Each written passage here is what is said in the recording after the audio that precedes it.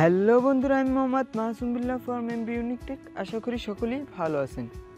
So বন্ধুরা, এই ভিডিওতে আজকে আমি দেখাবো কীভাবে ফেসবুক অথবা ইনস্টাগ্রামের স্ক্রিনশট নিয়ে আপনারা ওয়াটারমার্ক ফটো তৈরি করতে পারেন। ভিডিওটি স্কিপ করে না দেখে সম্পূর্ণ ভিডিওটি কন্টিনিউ করুন। তাহলে আপনি ফেসবুকের স্ক্রিনশট দিয়ে ওয়াটারমার্ক তৈরি করা শিখে যাবেন। সো বন্ধুরা, ভিডিওটি শুরু করার আগে একটি কথা অবশ্যই বলতে হচ্ছে, আপনি যদি এই চ্যানেল নতুন হয়ে থাকেন, তাহলে চ্যানেলটি অবশ্যই সাবস্ক্রাইব করবেন আর পাশে বেল আইকনটি অন করে দিবেন পরবর্তী ভিডিও নোটিফিকেশন পাওয়ার জন্য। আর যারা অলরেডি সাবস্ক্রাইব করেছেন, তাদেরকে অসংখ্য ধন্যবাদ।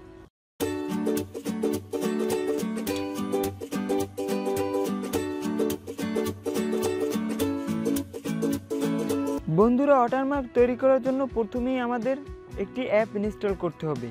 তার জন্য আমাদেরকে প্লে স্টোরে চলে যেতে হবে। প্লে স্টোরে আসার পর পিকস্যাট লিখে সার্চ দেবেন। তারপর এরকম একটি অ্যাপ আপনার সামনে চলে আসবে। তারপর এখান থেকে আপনি অ্যাপটি ইনস্টল করে নেবেন।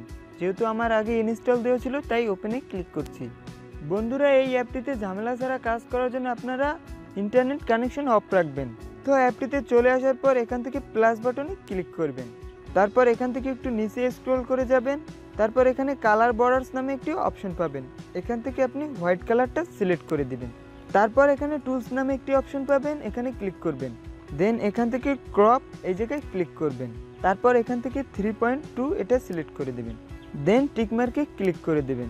তো তারপর একটু স্ক্রল করে বামে যাবেন। তারপর এখানে অ্যাড ফটো নামে একটি অপশন পাবেন, এখানে ক্লিক করবেন। তারপর এখান থেকে আপনি আপনার ব্যাকগ্রাউন্ডটি সিলেক্ট করবেন। দেন অ্যাডে ক্লিক করবেন। তারপর এটাকে জুম করে অ্যাডজাস্ট করে নেবেন। দেন টিক টিকমার্কে ক্লিক করবেন। তারপর এখান থেকে আবারও অ্যাড ফটোতে চলে যাবেন। দেন আপনার ফেসবুকের স্ক্রিনশটটি সিলেক্ট করবেন। দেন অ্যাডে ক্লিক করবেন। তারপর এখানে ক্রপ বলে অপশন পাবেন, এখানে ক্লিক করবেন। তারপর এখান থেকে আপনার যতটুকু প্রয়োজন, ততটুকু সিলেক্ট করবেন।